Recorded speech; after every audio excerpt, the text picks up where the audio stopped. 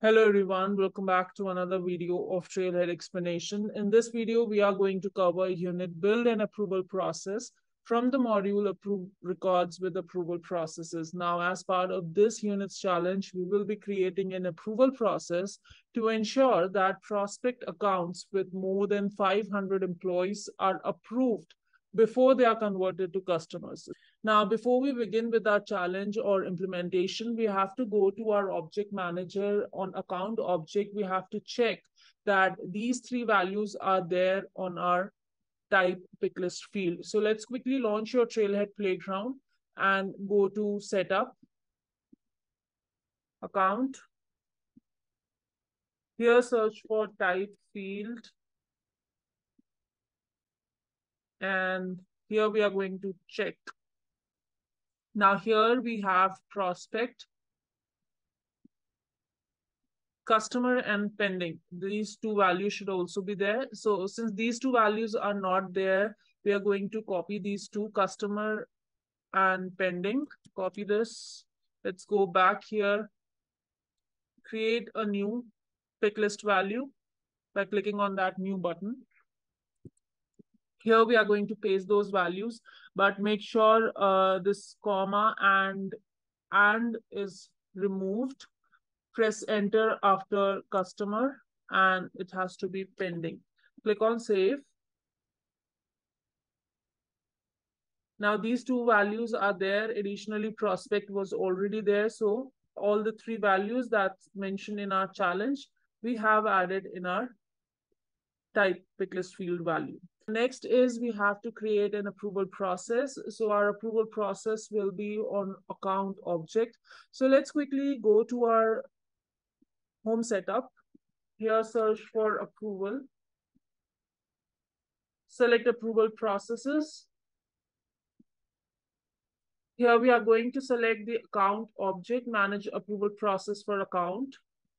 Now, once you click on create new approval process, it gives you two options, use jumpstart wizard and use standard start uh, setup wizard.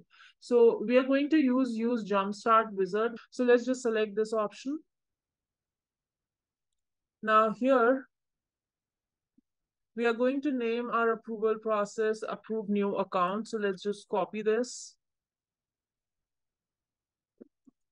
Unique name will be auto-populated approval assignment email template, you can select any email template that's not being checked in our challenge. So I'm going to select sales new customer email here.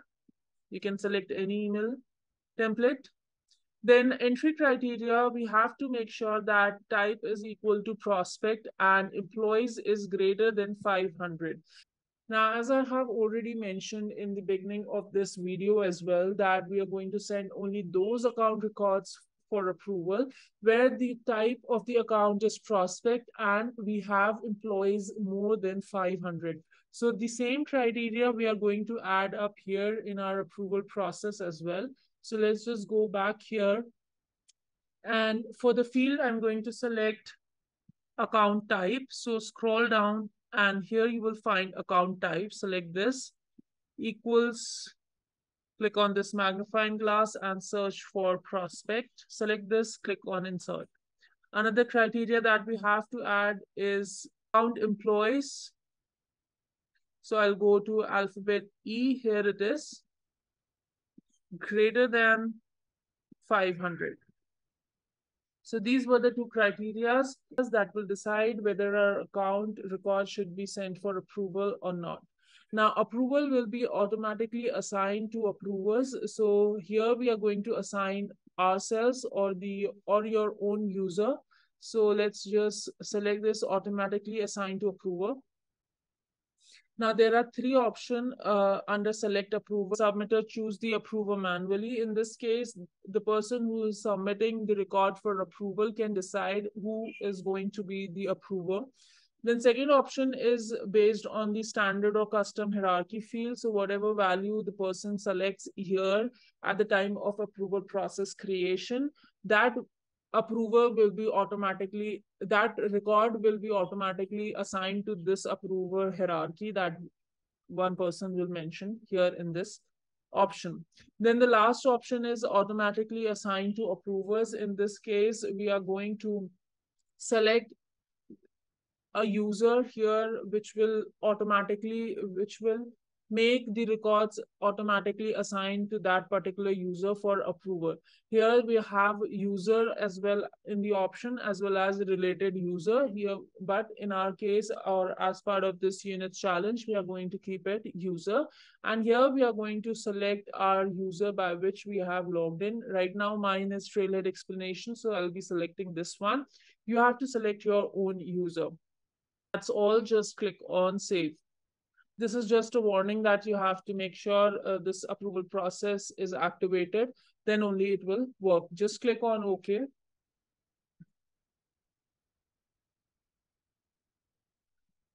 Click on view approval process details where we are going to add other steps as well. Now here, here we are going to add initial submission action. What will happen initially when a record is sent for approval. So let's just go back here. We are going to create initial submission action that updates field. So let's just copy this name from the challenge account type to pending, uh, though it's not being checked at the time of checking the challenge, but still we are going to take this name only. Let's just go back. Click on new select field update. Here we are going to set the field type, account type field to pending. So as soon as you set, send the record for approval, the first or the initial action that will take place will make the record type field updated to pending value. So here we have this option, specify new field value under which we are going to add a specific value where we are saying that it should be set to pending. Just click on save. Now, the next is we are going to add final approval action that will again update field. And here we are going to name it as account type to customer. This also won't be checked at the time of checking the challenge, but we are going to make sure that we are taking the same name. Now here we are going to update the type field again to customer. So let's just go back here final approval action. Now under this, whichever action that we are going to add, that will happen once our record has been finally approved. So here in our case, we are going to make an field update. We're going to label it as account type to customer. And again, we are going to update account type field. Click on next. Now here, this time we are going to specify value with the customer.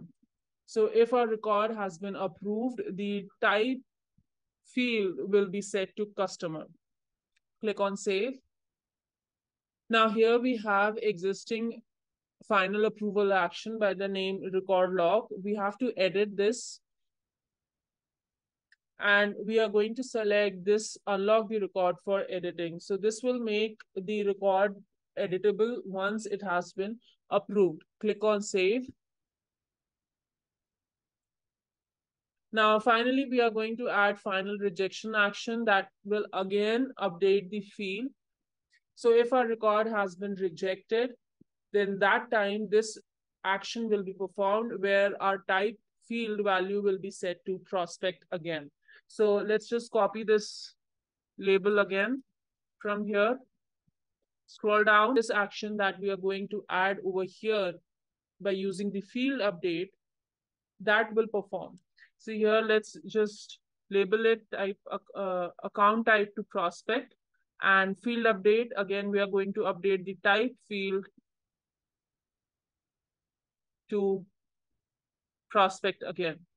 Click on save. So this is our basic approval process that we have created.